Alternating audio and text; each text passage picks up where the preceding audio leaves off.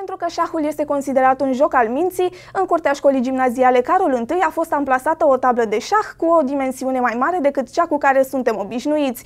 Această idee pentru tabla de șah a fost o dorință pentru actuala conducere a instituției, care a dorit să ducă la bun sfârșit amplasarea ei în curtea școlii.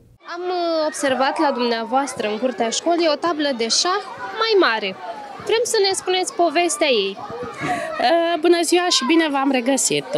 Da, uh, pot să spun că are o poveste. În primul rând, Aș vrea să vă spun că um, obiectivul numărul, printre obiectivele importante pe care mi le-am propus atunci când am aplicat pentru școala gimnazială Carol I a fost realizarea unui teren de sport la standarde europene, să spun, uh, și cu ajutorul domnului primar Marius Dulce, am putut să realizez acest teren unde copiii, după cum vedeți, se joacă, sunt încântați și sunt uh, foarte veseli. Uh, despre această tablă de șah, vă spun că am văzut-o într-un concediu Uh, la un uh, complex uh, hotelier la Bran.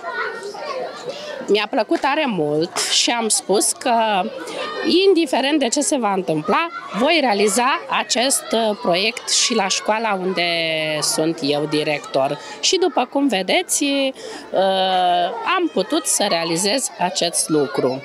Copiii sunt încântați, se joacă, învață șah cei mici, toți vor trece pe la tabla de șah sau chiar au trecut toți pe la tabla de șah și s-au, s-au jucat cu piesele.